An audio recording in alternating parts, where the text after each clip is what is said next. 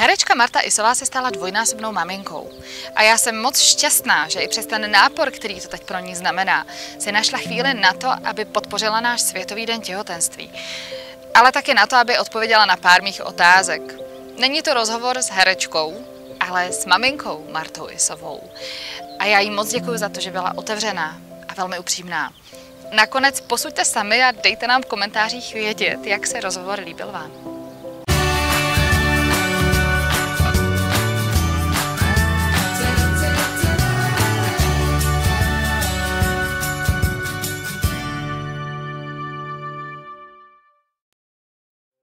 Že jaký to je mít najednou víc dětí než jenom jedno? Musím říct, že rozdíl mezi jedním dítětem a dvouma je poměrně velký. Já jsem už teda trošku měla v tomhle trénink, protože můj partner David má eh, teď 13-letýho syna, se kterým v podstatě od jeho 6 let, což mu bylo, když jsme se dali s Davidem dohromady, jsem zvykla celkem jako normálně žít, takže u nás vlastně to byl rozdíl mezi eh, druhým a třetím dítětem, spíš mm-hmm. takhle. Ale já si myslím, že čím víc dětí, tím větší štěstí. Že jo? No jo, to fakt. je přesně ono. Já si, já si pamatuju, jak jsem se, na mě se totiž někdy ženy dívají uh, lítostně. Když jim řeknu, že mám mm-hmm. tři děti, kol mm-hmm. tři syny, mm-hmm. tak často v Itálii jedna paní říkala, mama mia, úplně je, je zrovna v Itálii, tak, tak to mm-hmm. jsem překvapená. No. Já mám pocit, že čím víc na jich tím víc tam lidi Ale vlastně možná, možná, že jí šlo o to, že budu hodně vařit, jo. To je Aha, něco, co mi jako celkem litují lidi, ale potkala jsem pak jednu paní, která když jsem řekla, že mám tři děti, tak řekla, je, vy jste bohatá. No. A to jsou přesně ty momenty, takže si to taky myslím. To já teda jednoznačně vnímám a zrovna vlastně eh, někdy, myslím, včera nebo předvčírem jsem tak uh, seděla tady nad Emilkou, eh, která se na nás začala smát a vedle mě byla Františka a mluvila na ní a já jsem se úplně fakt rozplynula v tom momentě a říkala jsem si, že jako zvlášť, nebo ona asi každá doba je drsná, ale Eh, jak vlastně mám pocit, že ten okolní svět, jako když člověk čte noviny a zabývá se tím, co se okolo děje, že vlastně je to poměrně divoký, nebo se děje spoustu věcí, se kterými nesouhlasím. A najednou tím spíš vlastně ve chvíli, kdy se podívám na tu rodinu, mám pocit, že to jsou ty věci, které mají smysl a tam vlastně člověk asi, pro, já teda tam nacházím opravdu jako největší štěstí a smysl života v tom. Hmm. To je skvělý. Hmm. A my jsme teda zakladatelé Světového dne těhotenství, tak když se bavíme o tom těhotenství, jaká je Marta Isová, když je těhotná? Tyjo, Marta Isová, když je těhotná, to, to byste se měli zeptat spíš mého partnera, to je otázka na něj především. Ale já si myslím, že úplně, úplně různá, že vlastně jako já jsem v tom těhotenství prošla všema možnýma pocitama a všema možnýma polohama, no je to pravda, vy. Ty pláčeš, když slyšíš tuhle otázku. Něco o tom víš, viď? Eh, já, já jsem vlastně jako, musím říct, že první těhotenství jsem prožila v takový konstantní euforii. Mm-hmm. A e, paradoxně vlastně to druhý těhotenství, ačkoliv je člověk, anebo možná právě protože je člověk poučenější, tak e, jsem byla taková jako neklidnější. Jo? Měla jsem, ale možná to taky pramenilo z toho, že e, mě trošku na začátku vyděsili doktoři, protože mě vyšly špatně nějaký krevní testy, mm-hmm. takže se mě pokoušeli poslat na odběr plodové vody, mm-hmm. což jsem odmítla. Mm-hmm. A e, nechala jsem si udělat, nechala jsem si udělat takový ty krevní testy, ze kterých se vlastně mm-hmm. jakoby taky pozná co a jak. Nicméně během toho týdne čekání na výsledek jsem stejně došla k tomu, že ať by bylo, co by bylo, tak bych prostě stejně nic neřešila, protože mám pocit, že na to nějak nemám jako právo. Mm ale naštěstí se teda ukázalo, že všechno v pořádku, ale vlastně jsem byla mnohem jako křehčí mm-hmm. a labilnější. Mm-hmm. Ale uh, ono to asi souvisí opravdu s tím, že prostě v tu chvíli je ta žena jako strašně, to, to je vlastně strašně citlivý období a křehký období. Mm. Takže já jsem tak jako oscilovala mezi, mezi šíleným strachem hmm. a obrovitánským štěstím, hmm. protože jsem si právě vždycky přála mít víc než jedno, jedno dítě. A byla jsem strašně ráda, že, že se nám to podařilo. A vlastně jako my, to těhotenství je prostě mimořádný čas. No. Je, sice, je, je pravda, já jsem teda taky zažila v jednom těhotenství takové jako mírné komplikace, kdy mm-hmm. se nevědělo, co a jak s miminkem. A uvědomovala jsem si, že možná díky tomu jsem si víc uvědomila, že jsem opravdu těhotná. Jo. Že kdyby to nebylo, tak uh, bych si to skoro nestihla všimnout. Mm-hmm, mm-hmm. A najednou tím, jak člověk řešil život někoho v sobě, mm-hmm. tak si uvědomoval, že v tom není sám. Jo, jo, jo. A bylo to hrozně zajímavé. A pravdou i je, že prostě i přes všechny testy nikdy nemáme jistotu, že bude všechno v pořádku, Právě, takže nějaká ale... taková ta základní pokora k tomu, že ty věci stejně úplně neovlivníme, nám možná pak pomůžou to, to zdolat ve finále. Určitě. A jakž tak no, to jo. No jo. To, to, to vlastně je spíše jenom, jenom takový, že vlastně ačkoliv je člověk obrovsky šťastný a přeje si to a těší se na to, mm. takže jsou někdy chvilky, kdy vlastně jako ta, tahle ta určitá jako zranitelnost vyšší mm. než obvykle může člověka zavést do různých pochybností mm. nebo obav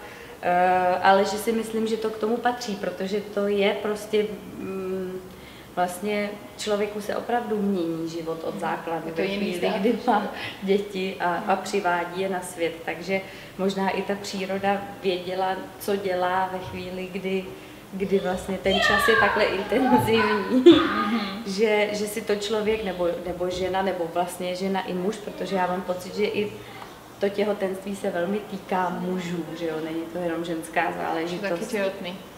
No právě. Dokonce je to odborný výraz, jmenuje se Kuvat syndrom a skutečně mají symptomy jako těhotné ženy. Opravdu, jo, no vidíte, tak to jsem ani nevěděla. No. Ale vlastně jako už jenom tím, že, že muž se stará o tu těhotnou ženu, tak vlastně i pro něj se ty okolnosti mění. Je tak je to prostě takový, hmm. jako taková příprava opravdu na to, že že se prostě stane velká změna, ale zároveň tu velkou změnu vnímám jako veliký štěstí. A bála jste se té změny? Teď ne. vážně, protože mm-hmm. jako spousta žen se bojí, jestli to zvládnou, jaká, jaký ten život pak bude, že jo, jestli to dítě sebere ten spánek a svobodu a e, kariéru a, a fakt, že jestli vůbec bude dobrá máma, čert ber, teď tyhle otázky, no to nějak bude, ale jestli vlastně budu dobrá máma, někdy vás to napadne. Jo, to jo, to určitě. A do dneška mám tyhle ty pochybnosti. Já musím, taky. Musím říct, že to přichází den. stále, ale e, zároveň vlastně jsem sama byla překvapená z toho, že třeba tady ty takové jako obavy o práci nebo kariéru, to nějak naopak vlastně jsem je pocitovala mnohem víc v době, kdy jsem vůbec ještě děti neměla. A ve chvíli, kdy, kdy se narodila Františka, tak od té doby mě tohle celkem opustilo. A stala jsem se vlastně mnohem větším fatalistou. Jako tam přišlo, tam přišlo velký potvrzení mých slov. Tady, tady dole. Ano, přesně. Že na některé věci se můžeme Že přesně vyprdnout. Ano, přesně.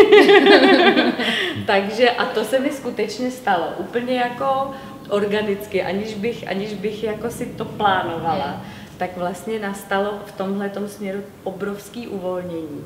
Jakože si vlastně nějak člověk fakt říká, že důležitost toho života je někde úplně jinde. A musím říct, že jsem si i začala víc užívat tu práci, protože už nejsem v takový tenzi. Nemám jako vlastně takový očekávání, nemám takový obavy o to, co se stane a říkám si, že prostě ať to bude, co to bude, že se s tím nějak jako, že s tím nějak naložím podle momentální situace a vlastně mě to jako opravdu spíš dalo takový, takový jako takovou lehkost a, a uvolnění. Hmm. Ale jako o, obavy o to, jestli jsem dobrá matka, mám neustále hmm. a pořád si tuhle tu otázku kladu. Mm, ale pak si říkám prostě, že to je taky normální a že, že i když mi občas prostě u, ujede něco, co bych přesně si pamatuju, jak jsem si říkala já jako dcera, tak tohle to nikdy v životě dělat nebudu. No. A vlastně jako jsem zjistila, že opakuju všechny ty věci, které jsem sama nesnášela.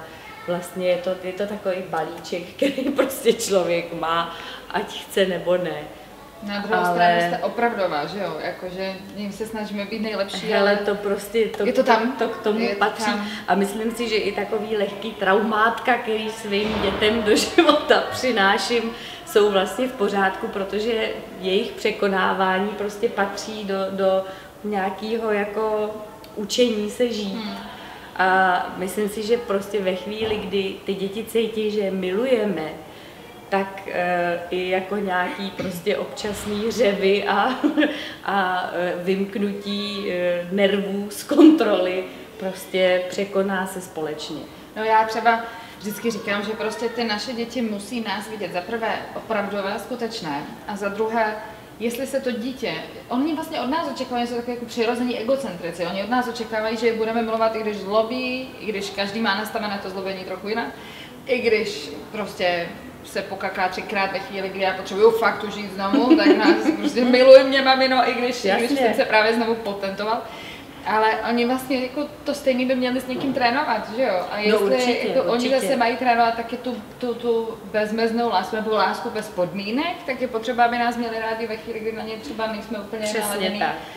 A já taky vždycky říkám, že kdybych já byla dokonalá, představ, kdybych já si teď aktuálně dovedla představit, že neudělám žádnou chybu jako matka, tak moje děti v životě nenajdou ženu. Moji je, synové je se nikdy tak. neožení, protože tak. nikdo ne, všichni budou ovilní. No. A, a já si nemohli... přesně myslím, že je důležité, aby viděli, že prostě se dějou věci, které se člověku nelíbí, mm. ale že vlastně všechno se dá vyřešit komunikací. Jo. Je to že prostě je důležitý taková... jako vlastně o těch věcech mluvit. Je to taková přiměřená míra frustrace, tak. že jo? Když to uneseme v nějaké fajn míře, tak je to přesně, vlastně v pořádku. No. Tak, to si myslím. No a když jsme mluvili o tom strachu, nejenom z toho, jak, jak teda, jaký budeme maminky a tak, uh, řešila jste i strach z porodu? Měla jste strach z porodu? Poprvé vůbec. Mm-hmm. Absolutně ne.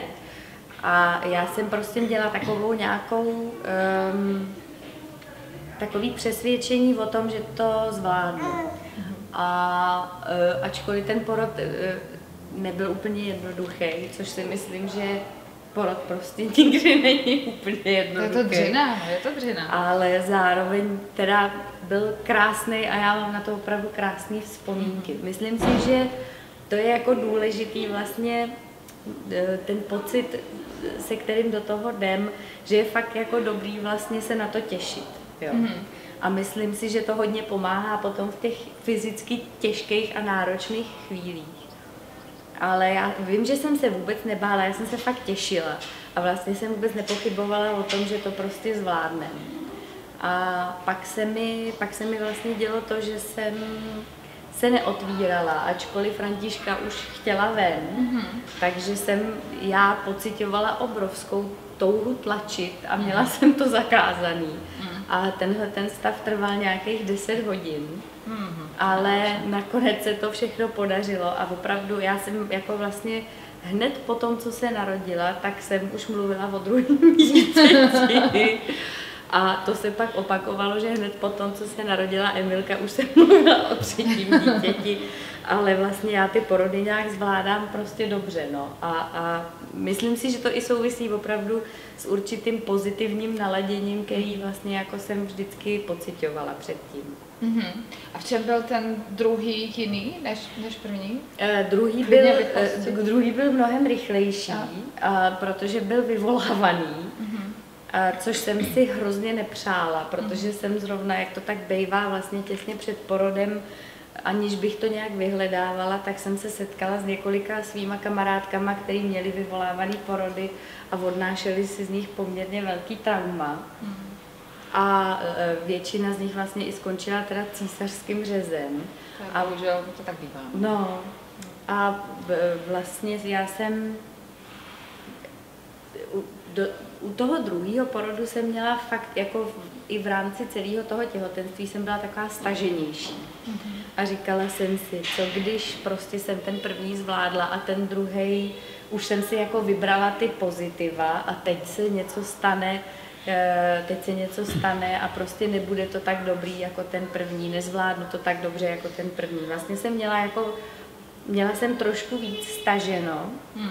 a pak se stalo to, že jsem jela na kontrolu, počítala jsem s tím, že pojedu pro Františku do školky potom a uh, oni si mě tam už nechali, protože se jim nějak nelíbil monitor. hmm A uh, vlastně se pan doktor rozhodl, že mi ten porod vyvolá a strašně mi pomohla Dula, kterou jsem měla, já jsem u prvního porodu vlastně nebyla sama jenom, nebo byl tam David, který tak občas nakouknul a měla jsem tam svoji švagrovou, která má tři děti. Ale vzhledem k tomu, že jsem právě to druhé těhotenství měla takový lehce nervóznější, tak jsem se rozhodla, že si vezmu k porodu Dulu, což bylo nejlepší rozhodnutí, který jsem udělala a tímto děkuji úžasný Jitce Čejkový za všechno, co pro nás udělala. A já jsem vlastně jí měla na telefonu a říkala jsem jí, oni mě chtějí ten porod vyvolávat a já to nechci, já hrozně nechci, aby mi vyvolávali porod. A Jitka mi řekla, Marto, ať to bude jakkoliv, buďte úplně v pohodě. Vemte to tak, jak to je. Jestli říká pan doktor, že prostě je tohle nejlepší řešení, přijměte to, vůbec se nestresujte, vyrodíte dobře, bude to všechno úplně v pořádku, já za váma jedu, prostě se na to nalaďte a ničeho se nebojte. A mě to strašně pomohlo. ano, někdo tady usnul, trošku nudavý, no. A mě to strašně pomohlo a opravdu jsem tohle to udělala, že jsem to nějak vnitřně prostě akceptovala.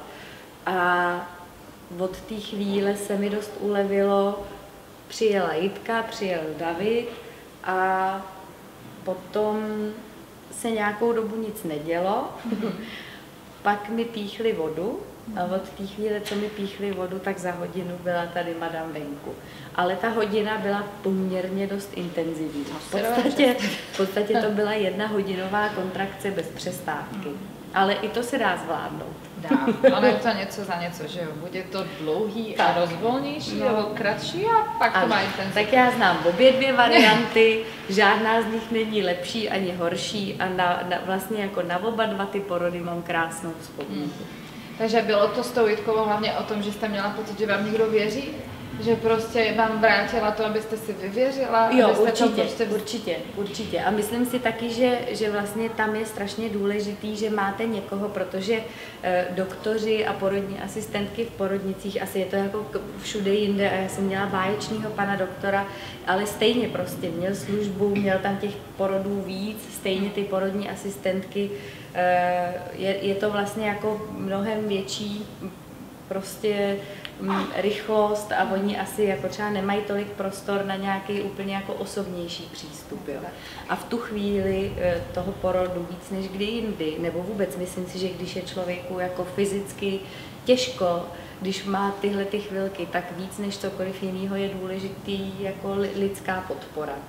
A, a tu mi vlastně ta Jitka poskytla teda maximálně a vlastně přesně jako mě podpořila úplně na té nejzákladnější lidský úrovni nějakého jako spolubytí a spoluprožívání protože vlastně jako u, u toho druhého porodu tam ještě byl ten faktor toho, což jsem vlastně poprvé nezažila, protože tam bylo všechno v pořádku, ale tam byl pořád vlastně ten, ten špatný monitor. Jo? Mm-hmm. Emilka se pak zjistilo, že měla tenkou pupeční šňůru, mm-hmm. kterou si tam nějak asi přišlapávala a přilehávala a tím pádem na tom monitoru se občas ukázala taková, takový jako drobný srdeční výpadek, uh-huh. takže oni mě vlastně celou dobu kontrolovali a to není úplně jako pro, pro psychiku nejlepší. Uh-huh. A v tomhle ta Jitka tam byla k nezaplacení, protože prostě byla celou dobu se mnou a vlastně mě jenom hladila, masírovala a říkala, ničeho se nebojte, to bude v pořádku. A to bylo to, bylo to co jsem nejvíc potřebovala. Takže pokud příště zase s Dulou? Určitě, určitě, stoprocentně. Pokud se mi podaří zlomit Davida, tak, jo. tak určitě. Jako myslím ne k Dule, ale k tomu dalšímu dítěti. K Dule ho nebylo potřeba zvládat. Ne, to bylo úplně v pořádku. Dula byla akceptována, teď ještě, teď ještě musíme zapracovat na tom počtu dětí. A chtěla jste kluka? Ne, já, já jsem v tomhle směru vůbec žádný chtění neměla. Já jsem, my jsme vlastně ani u Františky, ani u Emilky nevěděli, jsme si nenechali říct. A e, když se narodila Františka, tak jsem byla strašně šťastná, že to je holka, protože jsem si vždycky přála mít dceru. Mm-hmm. A u toho, a, ale stejně jako ani během toho těhotenství jsem nějak nepocitovala nějaký pnutí jako jedním mm-hmm. směrem. Ale když byla na světě, tak jsem si řekla, že jsem šťastná, že to je dcera a že teď už prostě může být jakkoliv. A u Emilky jsem si myslela celý těhotenství, že to bude holka, ačkoliv všichni si mysleli, že to bude kluk.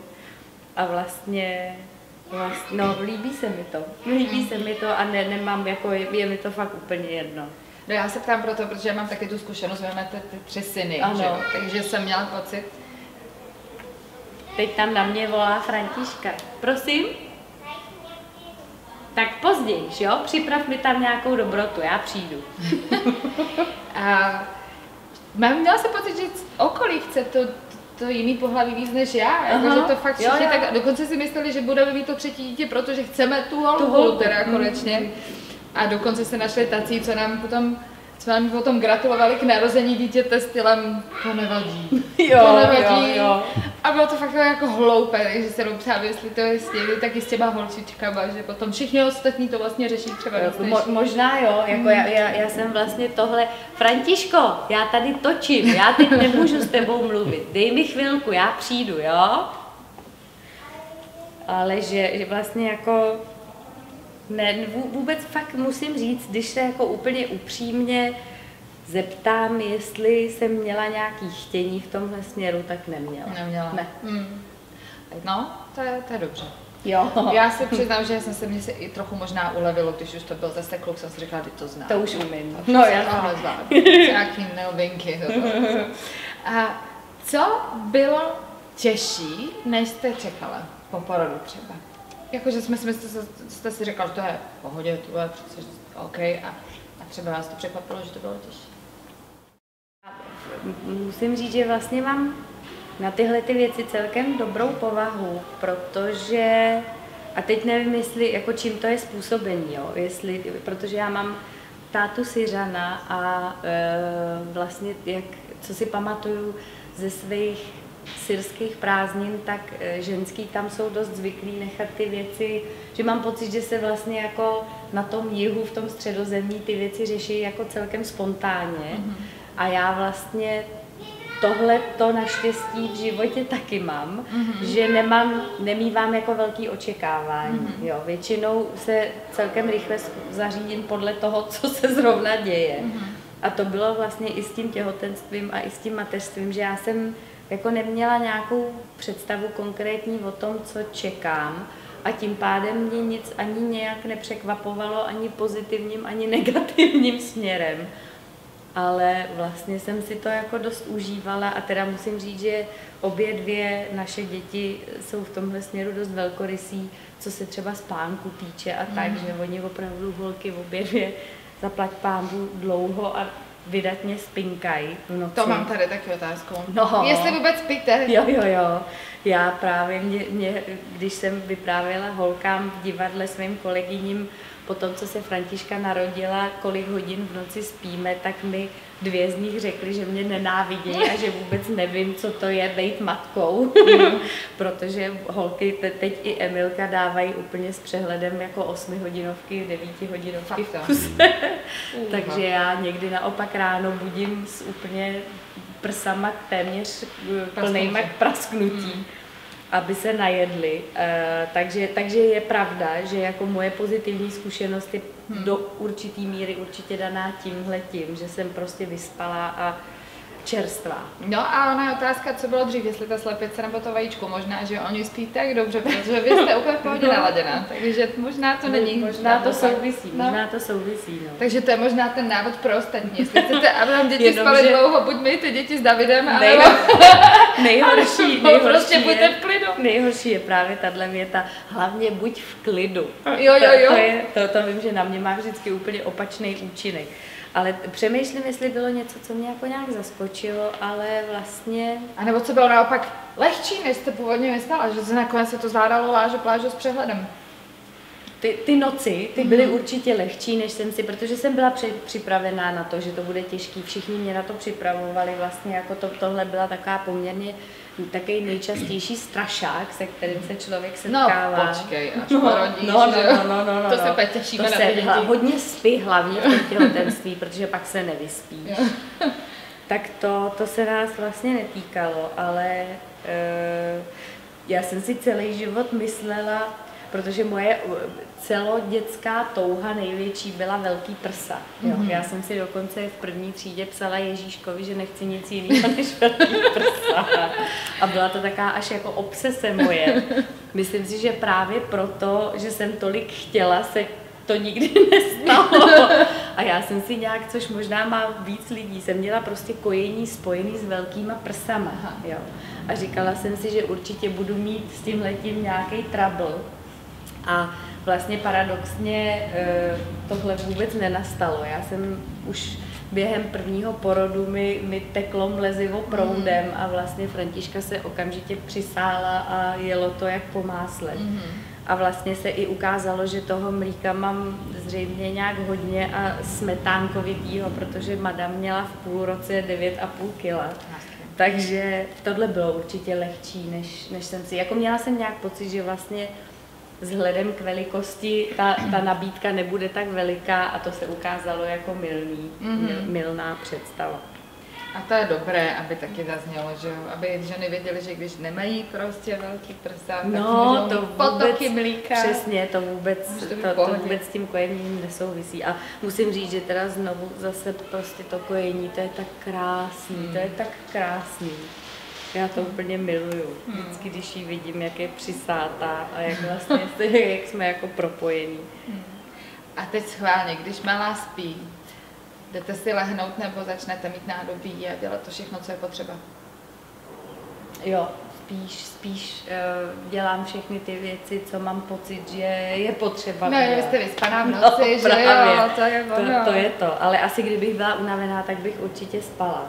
Aha. Jako je pravda, že vlastně s tím, že s Františkou to byla mnohem větší pohodička, protože tam prostě nebyl nikdo jiný, mm-hmm. takže jsem si četla, mm. odpočívala jsem a teď vlastně v těch chvílích, kdy Emilka přes den spí, tak mám spíš jako tendenci být s Františkou a věnovat se jí. Mm vlastně, protože fakt um, si myslím, že, že to je prostě pro to dítě těžký ve chvíli, kdy bylo zvyklý, že vás má plně k dispozici a pak se tam prostě objeví tady ten nový tvor a, a jsou chvíle, kdy prostě musíte tomu většímu dítěti říct, hele promiň, teďko počkej, musíš vydržet, tak eh, se snažím v těch chvílích, kdy, kdy Emilka spí, uh, vynahradit jí tohle. Hmm.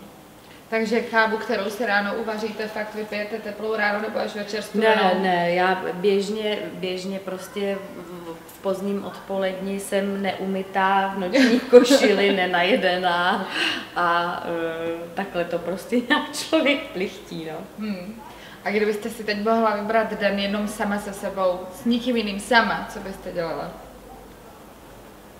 Ty brďo, no, uh, tak bych Hodně bych si četla. To, to jako potom se mi docela stejská, musím říct.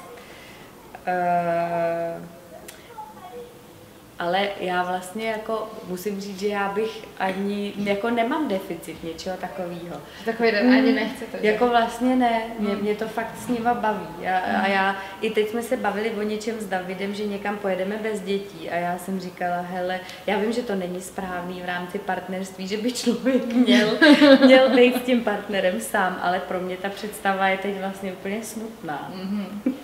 Takže ani vám nevadí, že se prostě v průběhu dne člověk nevysprchuje, když potřebuje. A že na záchod... těm ostatním spíš si myslím. Ale a že na záchod chodíte furt v doprovodu někoho, co nebo chodíte sama.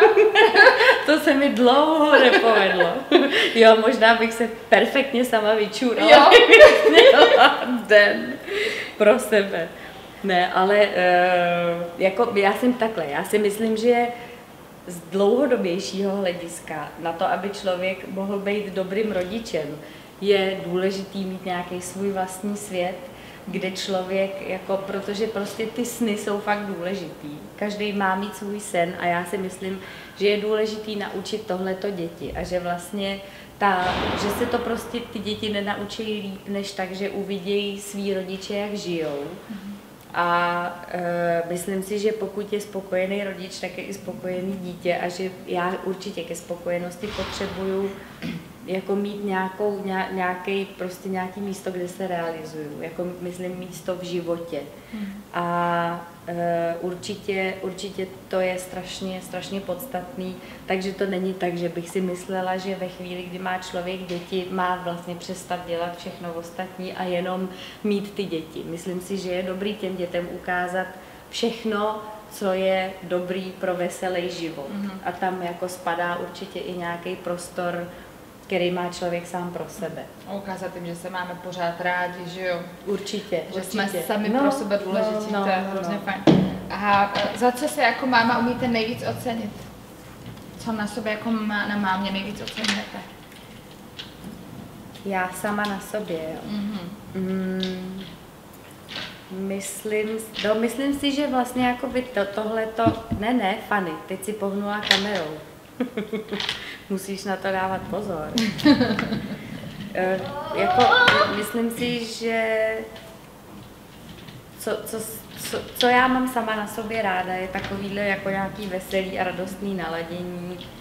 Jako mě, mě to fakt prostě dělá hrozně dobře a myslím si, že to tím pádem dělá dobře i těm dětem, že vědí, že, že je miluju a že, že se se mnou můžou cítit radostně. A to jsem si vždycky přála, aby ta rodina byla prostě taková radostná parta, kde, kde se všichni cítí milovaný a, a přijímaný. Tak asi tohleto. Takže měnila byste, i když je to někdo úplně na posrání, měnila byste. je to někdy úplně na posrání, ale nezměnila bych určitě. Je jako fakt, fakt mám pocit, čím dál tím víc. Určitě je důležitý nesmírně jako vnímat svět okolo sebe a snažit se ho dělat lepším.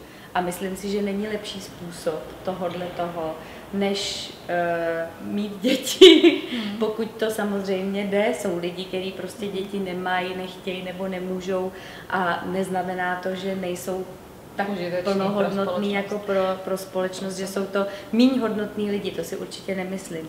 Ale myslím si, že vlastně třeba já opravdu spatřuju největší smysl právě v tomhle tom, že, že prostě novým malým lidem vytvořím natolik šťastný zázemí a ukážu jim, jak si myslím, že je dobrý žít a tím pádem tady prostě budou další lidi, kteří ten svět budou chtít dělat lepší stejně jako já prostě skrze tyhle ty věci. Takže co byste vzkázala těm třeba mladým ženám, který teď se koukli, a bohužel to tak je, v rámci biologie na film, kterým promítají, kde teda vidí opravdu odporný porod z 80. let a přijdou domů a řeknou, že nikdy nebudou mít děti. Co byste, tí, co, co, co byste tím mladým, mladým ženám vzkázala v tuhle chvíli? Já za sebe můžu říct, že mít děti je to nejlepší, co mě v životě potkalo. A včetně porodu, včetně všech těch chvil, kdy si budete říkat, že to je úplně na prd a že to je to nejstrašnější. I to k tomu patří, protože pokud by se člověk nedotk e, nějakých těžkostí, tak by ani nebyl schopný si uvědomit tu krásu toho. A, a já teda musím říct, že jsem se větší krásy a většího citu v životě ještě nedotkla, než po tom, co se mi narodili děti. Není třeba se toho zbát, zvládnou to i takový paka, jako jsem já. A je to opravdu boží. Já vám, Marto, moc děkuju. Já vám Mala taky. to krásně prospala. Přeju vám, ať, ať si zachováte tu radost pro všechny. Protože je to přesně tak, že i když jsou ty chvíle, kdy nám ude, ujede Bůh ví co, tak ta radost to vždycky nějakým způsobem převálcuje, takže ať vždycky tak. převyšuje víc té radosti nad tím, nad tím třeba i strachem a nejistotami, Určitě. obavami a ať se vám A- moc daří. Děkuji vám moc, Majko, bylo to krásný a ještě jsem si neuvědomila jednu podstatnou věc, eh, že opravdu můžu říct, že to, že ty děti jsou naši největší učitele, tak to opravdu stoprocentně funguje a neznám eh, lepší jako a, a rychlejší a intenzivnější eh, způsob seberůstu a práce na sobě, než je skrze mateřství, protože oni jsou fakt zrcadlo a vlastně jsem si opravdu uvědomila, že to, že myslím na to, jak se chovám, protože chci, aby u mě ty děti viděly to, co si myslím, že je správný, je ten nejčistší možný způsob jako toho, že se stávám lepším člověkem.